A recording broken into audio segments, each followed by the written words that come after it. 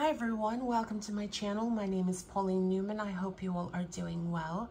Welcome to Vlogmas Day 21.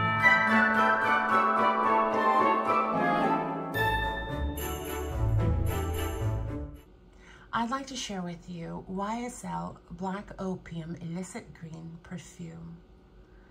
Black Opium Illicit Green by YSL is a floral, fruity, gourmand fragrance for women. It was launched in 2022.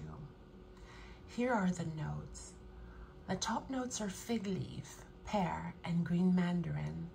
The middle notes are fig, jasmine, and orange blossom.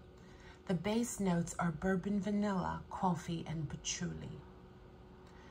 Black Opium Illicit Green is a fresh, sweet, and spicy fragrance. It is a soft fragrance and a lovely bouquet. Upon the first spray, you get the freshness of the pear and mandarin. And on the dry down, you get the prominent notes of coffee and orange blossom.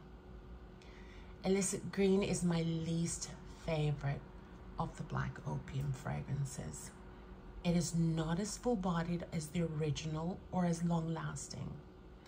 Although a lovely bouquet, illicit green almost disappears after two hours with just a whisper of the scent lingering. If you are someone who loves soft fragrances, or for those who are sensitive to strong fragrances, then YSL Black Opium Illicit Green is for you.